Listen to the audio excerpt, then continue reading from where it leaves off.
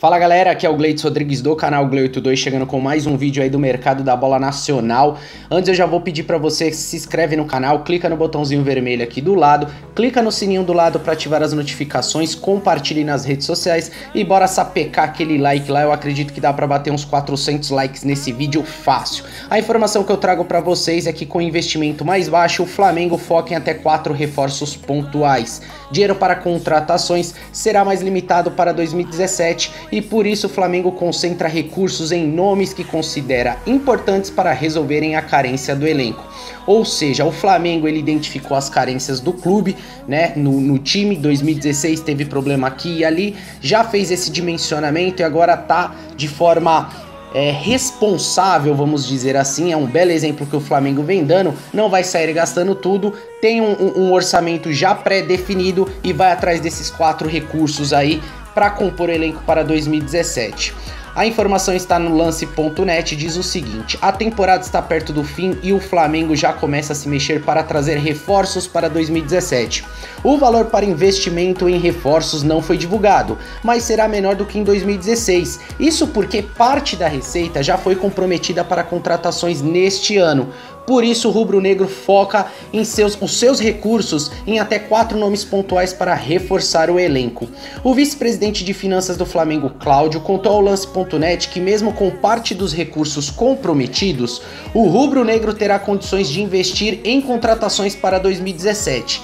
Ele diz que serão poucas, mas importantes peças para resolverem a carência do elenco.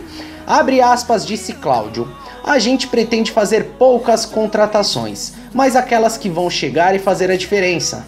A gente antecipou algumas coisas esse ano. Algumas contratações deste ano ainda vamos continuar pagando em 2017. Mesmo assim, ainda temos espaço para mais contratações só que serão ótimos e pontuais reforços, explicou o Cláudio, destacando que o Flamengo já sabe o que quer e já definiu as posições que precisam ser reforçadas.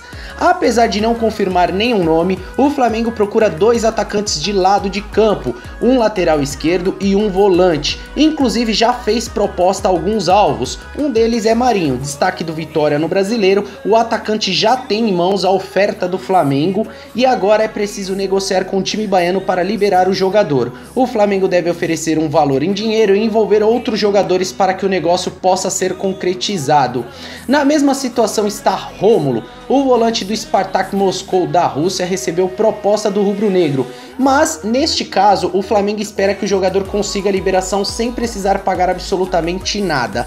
E o outro jogador é o Reinaldo. O Reinaldo é outro que está na mira. Para contar com o lateral esquerdo de São Paulo que está emprestado, estava, né, na verdade, emprestado para a Ponte Preta, o Flamengo já fez uma oferta para adquirir os direitos econômicos do lateral. Ele chegaria para ser sombra para o Jorge, que é considerado, na verdade, ele é até considerado com condições de ser titular. Isso porque o Flamengo entende que o Jorge dificilmente permanecerá no grupo, pelo menos a partir do meio do ano que vem.